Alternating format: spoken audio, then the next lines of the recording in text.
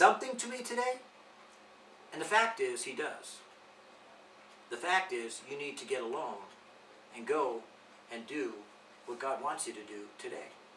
Because if you don't, you're going to be misled by somebody. Because if you're misled by your church, you'll be misled by your church. If you're misled by your dog, your dog will mislead you. If you're misled by your, your way of looking at things, you'll be misled by that, your own intellect.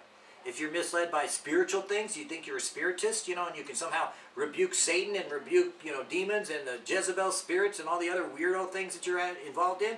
Hey, you're already deceived. So it's no problem. You'll wind up in hell sooner or later. But the reality is, Jesus said something very simple and very quiet and very still. Something you need to get alone, go out somewhere in sunshine or even shade or rain or snow or hail or whatever, but someplace quiet and stop and take the time to say, Jesus, speak to me. And if he doesn't say to you, come to me, you got fingers in your ears or wax from the world plugging your heart, soul, and mind from hearing from the living God. And today, more than any other day that you could imagine, you need to hear from God today. And you need to do what he has to say. Not what I say, but what he says.